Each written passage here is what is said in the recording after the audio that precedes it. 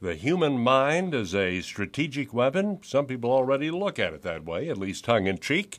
But as KSFR's Margaret Anderson reports, the human mind has been getting close scrutiny at a symposium in Albuquerque. Sandia National Laboratories is a sponsor of the Decade of the Mind Symposium in its fourth year in Albuquerque. The event allows leading professionals in cognition and neuroscience to discuss the latest breakthroughs in research relating to the brain and the mind.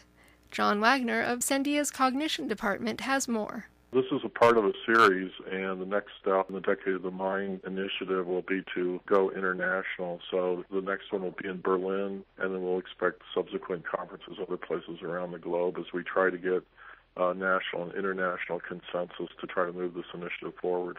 It was President George Bush Sr. who first initiated the Decade of the Brain agency in the 1990s. He declared that a decade of research should be given to the focus of neuroscience. The Decade of the Mind Symposium developed out of that initiative. Wagner explains the symposium's objective. We're proposing a grand challenge um, that we refer to as reverse engineering the brain. And so um, we'll have scientific researchers, we'll have national leaders working in this general area, and the general public so we're trying to understand scientifically how the brain functions and also how the brain processes result in what the community calls the mind. You know, if you were to describe the brain with a computer analogy, the brain might be the hardware, the mind might be the software. And so we're trying to understand how both work together. Wagner says that understanding the mind as well as brain science in general is essential to national security. There's several facets to it. I mean, the obvious one is in healthcare. Even our warfighters today are subjected to IEDs and getting injured.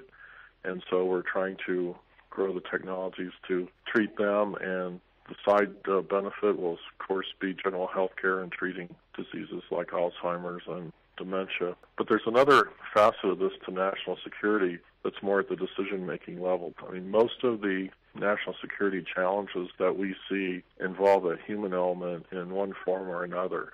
Whether you talk about terrorism or economic security or energy security, you know, a critical facet of all these challenges are this human decision making in one form or another. And so our national laboratories uh, understanding how humans make decisions can help uh, us prepare for the national security challenges of the future. For KSFR News, I'm Margaret Anderson.